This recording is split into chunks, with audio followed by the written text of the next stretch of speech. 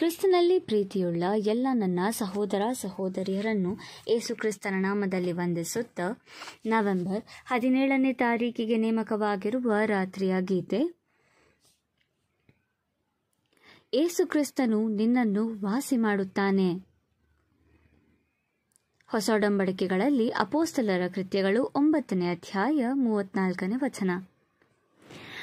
ನಮ್ಮ ಮೇಲಿನ ವಾಕ್ಯವು ಪೇತ್ರನು ಐನೇಯನಿಗೆ ಹೇಳಿದ ಮಾತಾಗಿದೆ. ಪಾರ್ಶ್ವವಾಯು ರೋಗಿಯಾಗಿದ್ದ ಈತನನ್ನು ಅಪೋಸ್ತಲನ್ನು ಲುದ್ದದಲ್ಲಿ ಕಂಡು ವಾಸಿ ಮಾಡಿದನು ಈತನು ಸಂತರಲ್ಲಿ ಒಬ್ಬನೆಂದು ನಮಗೆ ಹೇಳಲಾಗಿಲ್ಲ. ಆದ್ದರಿಂದ ನಮ್ಮ ಊಹೆ ಏನೆಂದರೆ ಈತನು ಸಂತನಾಗಿರಲಿಲ್ಲ.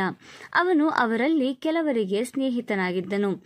ಆದ್ದರಿಂದ ಹೀಗೆ ಅಪೋಸ್ತಲರಲ್ಲಿ ಗಮನವು ಅವನತ್ತ ಸೆಳೆಯಿತು.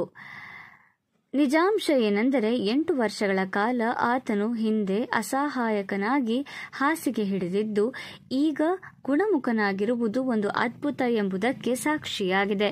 ಈ ಅದ್ಭುತದ ಖ್ಯಾತಿಯ ವಿದೇಶಗಳಲ್ಲಿಯೂ ಹರಡಿತ್ತು.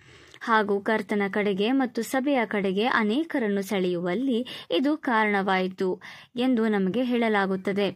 ಈಗ ಬೇರೆ ವಿಧಾನಗಳನ್ನು ಬಳಸಿಕೊಂಡು ಸಭೆಯನ್ನು ಆಕರ್ಷಿಸಿದ ಹಾಗೆ ಆಗ ಕರ್ತನು ಸರಿಯಾದ ಮನೋಭಾವದಲ್ಲಿರುವವರಿಗೆ ಅದ್ಭುತಗಳನ್ನು ಮಾಡಿ ಅವರನ್ನು ಆಕರ್ಷಿಸಿ ತನ್ನ ಸಭೆಯನ್ನು ಸ್ಥಾಪಿಸಿದನು. ಆ ಅದ್ಭುತಗಳು ಗುಣಪಡಿಸುವ ವರಗಳು ಇತ್ಯಾದಿ ಅಪೋಸ್ತಲರ ಕಾಲದ ನಂತರ ಉಳಿಯಲಿಲ್ಲ. ಅಪೋಸ್ತಲರು ಕೈಗಳನ್ನು ಇಡುವುದರ ಮೂಲಕ ಮಾತ್ರ ನೀಡಲಾಯಿತು ಮತ್ತು ಹನ್ನೆರಡು ಮಂದಿ ಬಿಟ್ಟು ಬೇರೆ ಯಾವ ಉತ್ತರಾಧಿಕಾರಿಗಳು ಇರಲಿಲ್ಲ.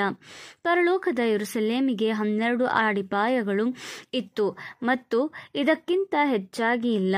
ಹಾಗೂ ಅವುಗಳಲ್ಲಿ ಹನ್ನೆರಡು ಅಪೋಸ್ತಲರ ಹೆಸರುಗಳನ್ನು ಬರೆಯಲಾಗಿದೆ ಮತ್ತು ಇನ್ಯಾರ ಹೆಸರು ಇಲ್ಲ.